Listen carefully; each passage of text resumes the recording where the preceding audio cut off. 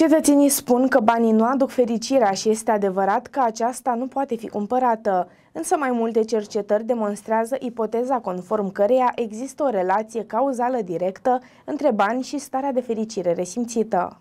Dacă ne uităm la nivel individual, s-a demonstrat că sărăcia este asociată cu mai multe emoții negative, iar oamenii cu un nivel de trai scăzut mult mai nemulțumiți de propria viață. Cu cât aceștia au un venit mai mare, cu atât crește sentimentul de bine emoțional și mental. Este puțin forțată această idee, în sensul că banii trebuie să fie întotdeauna un mijloc, ci nu un scop.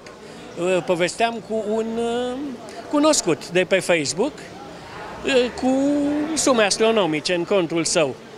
Și uh, suntem amândoi de acord. Sunt foarte necesari banii, dar folosiți în scopuri bune. Adică uh, răspunsul ar fi pe undeva la mijloc.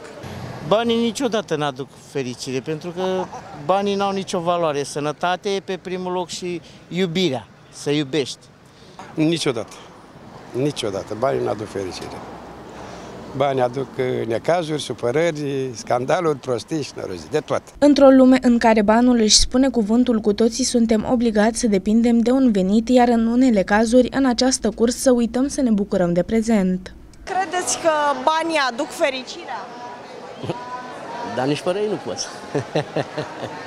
Mai ales la noi la pensionari. Totul e drămăit, ce dai pe medicament, sunt împărțiți, să știți. De să aduc. Da. Viața scumpă, bani puțini.